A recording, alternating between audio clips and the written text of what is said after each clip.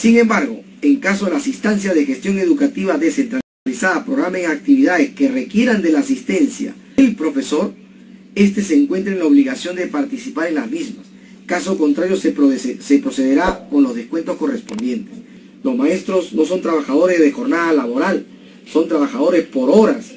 Hay que garantizarles en todo caso toda la logística, todas las computadoras, el internet, los materiales para que el profesor pueda asistir eh, en estas vacaciones de medio año a las instituciones educativas y no lo estafemos ni le engañemos con capacitaciones que al final lo único que hacen es solamente pretender justificar de que estén en la institución educativa manteniendo la permanencia y no estén generando pues, el trabajo de gestión, de, pedagógico que realmente se requiere.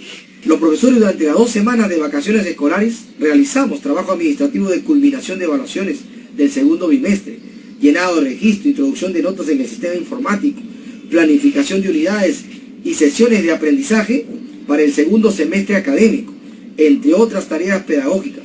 Mi pregunta es, ¿estas actividades justifican que los docentes estén físicamente en las instituciones educativas? No podemos permitir que sigamos con una práctica abusiva obligando ilegalmente a asistir a los maestros a sus colegios sin justificación y presionando indirectamente para que realicen su trabajo educativo fuera de la jornada laboral en sus hogares. En las vacaciones escolares de medio año los profesores realizan actividades propias de su responsabilidad en el trabajo educativo sin asistencia a la institución educativa. El profesor que se desempeña en la área de gestión institucional, formación docente, innovación e investigación goza de 30 días de vacaciones anuales. En ambos casos las vacaciones son irrenunciables y no acumulables.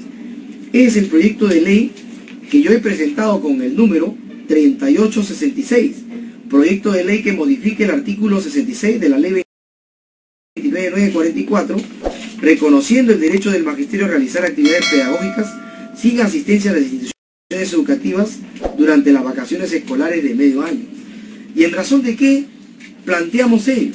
En la ley del profesorado también establecía el derecho irrenunciable a los 60 días anuales que se dan entre enero, febrero y las vacaciones de medio año.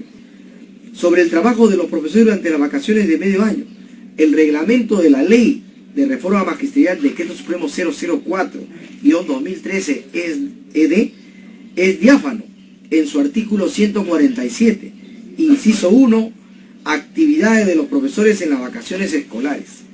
En las vacaciones escolares de medio año, los profesores del área de gestión pedagógica desarrollan actividades propias de su responsabilidad en el trabajo educativo sin necesidad de asistir a la institución educativa. Sin embargo, en caso de las instancias de gestión educativa descentralizada programen actividades que requieran de la asistencia del profesor, este se encuentra en la obligación de participar en las mismas.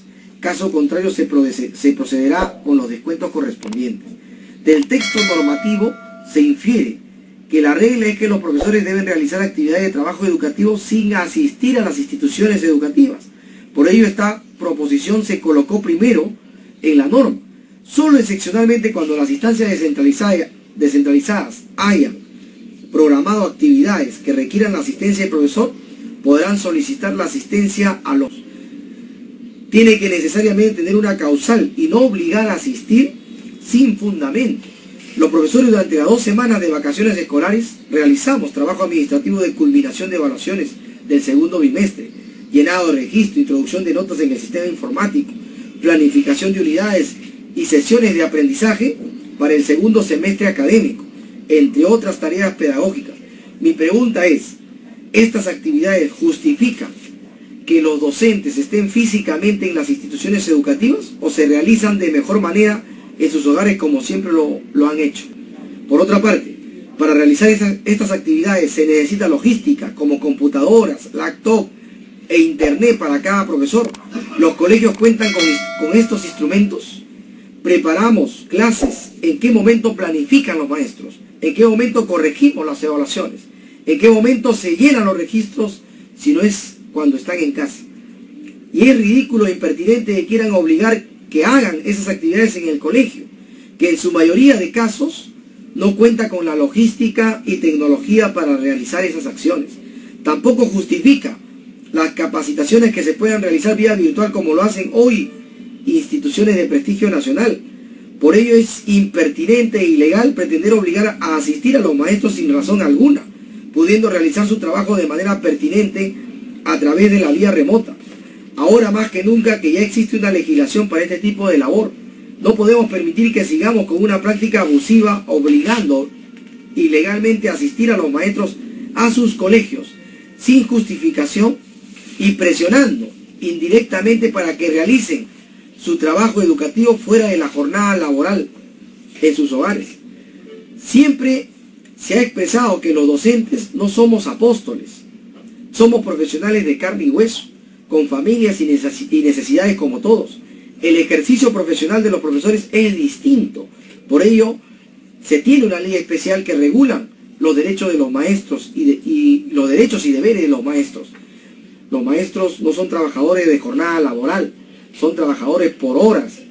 Hay que garantizarles en todo caso toda la logística, todas las computadoras, el internet, los materiales para que el profesor pueda asistir eh, en estas vacaciones de medio año a las instituciones educativas y no lo estafemos ni le engañemos con capacitaciones que al final lo único que hacen es solamente pretender justificar de que estén en la institución educativa manteniendo la permanencia y no estén generando pues, el trabajo de gestión, de pedagógico que realmente se requiere.